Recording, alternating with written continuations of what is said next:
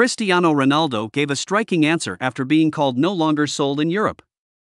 Ronaldo's statement was related to his move to Saudi Arabian club Al Nassr.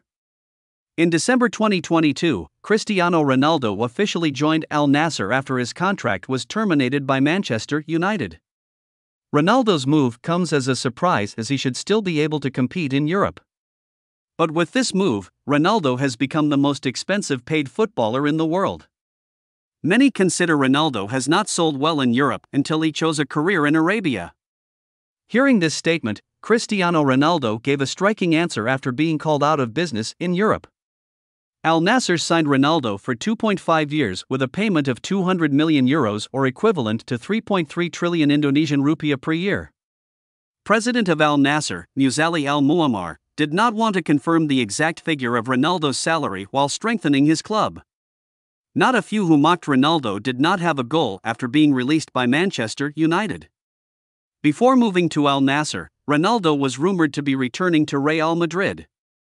However, Real Madrid did not contact Ronaldo until the transfer window opened. Ronaldo is considered to have no selling point in Europe. Moreover, because the price is very expensive and the performance decreases. But in the press conference of his move to Al Nassr, Ronaldo denied the claims. According to him, playing in Saudi Arabia is his own choice after the many offers that come in. The 37 year old stressed that he had to resist many clubs contacting him because he wanted to take a new opportunity with a career in Saudi Arabia. I am very proud that I have made this big decision in my life. In Europe, my work is done.